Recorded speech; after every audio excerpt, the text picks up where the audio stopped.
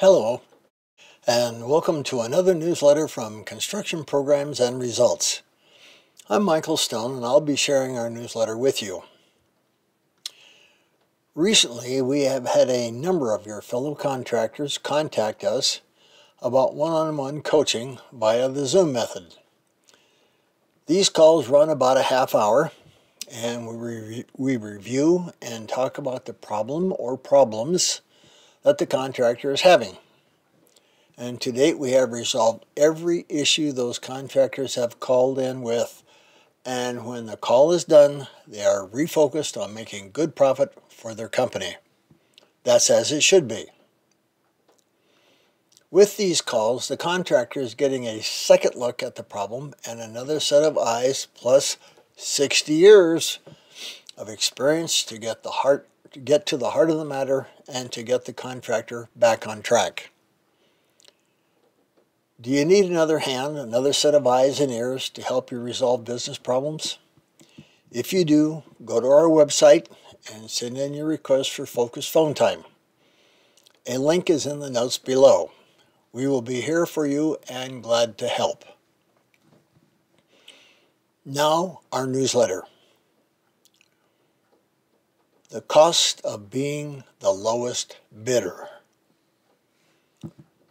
Why would any serious construction related business owner want to be the lowest bidder on a project? In my opinion, there are only three situations where being the lowest bid works out for the business owner. One, you're able to build a job for a lower cost than any other contractor. Two, you have little or no overhead. Or three, you don't care about making a profit. Can you build jobs at a lower cost than other contractors? In my experience, only if you're willing to cut corners. For example, you can use cheaper materials. You can understate allowances so the owner doesn't realize the higher price until the job has started. You can pay employees below average or pay under the table to avoid payroll taxes. You can save money by not pulling permits or ignore inspections to rush the job. All these options will show up in the finished product and upset your clients or cause you legal and or tax problems when they're discovered.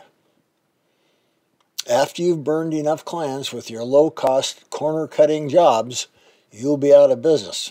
Simple as that. Can you lower overhead than can you have lower overhead than another contractor?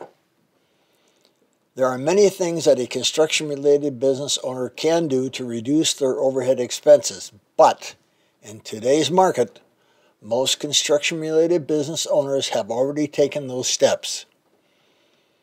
If you want to stay in business, some overhead expenses can't be eliminated, like advertising, phones, fuel for your vehicles, etc.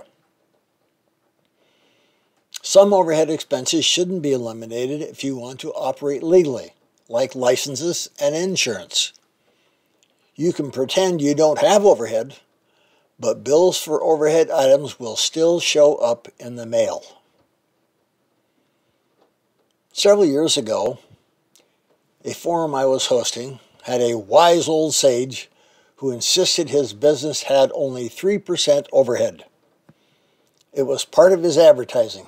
He built jobs on cost plus, so he was able to provide the best price because his clients wouldn't have to pay the excessive overhead of other contractors. I asked for a copy of his profit and loss statement, and he sent it to me.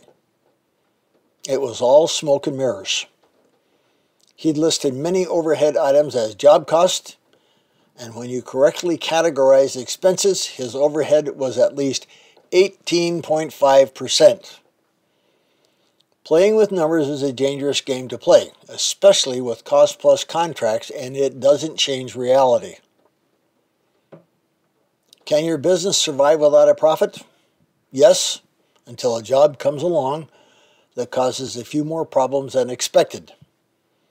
Without a financial cushion, one troublesome job can put you out of business and deep in debt. The truth is that given any set of plans, whether a kitchen or bath remodel, an addition, a new home, or even just a new furnace or water heater, most contractors can build the job. If they follow the same plans and price the same selections, the job cost will be roughly the same regardless of who builds it. That's reality. And generally, prices will be in the same range unless someone is working at being the lowest bid. So you have two choices. You can hope the prospective client buys from you because your price is the lowest, or you can learn how to present yourself, your company, and the job you intend to do so that you become the company that prospective clients want to work with. They can hire a contractor who builds a job on schedule or one who stretches it out because they're disorganized. They can hire a contractor whose employees keep the job site clean, or they can live in the dusty, messy project until it's finished. The same job might or might not get built, but the process and experience will be different and the differences will be noticeable, especially when it comes time to recommend you to their friends and family. It's called Establishing Yourself as a Contractor of Choice, and we covered in our book Profitable Sales, A Contractor's Guide. When you become the contractor of choice, Prospective clients can see the difference between the job you'll do and the job your competitors will do. They'll understand that there's more to choosing a contractor than price of the job. If you don't know how to present yourself on a sales call, it's not too late to learn. You don't want to make the sale because you're the lowest bidder. Read Profitable Sales, a Contractor's Guide, and watch our sales training class. Make all your sales profitable. Thank you for watching, and may the profits be with you.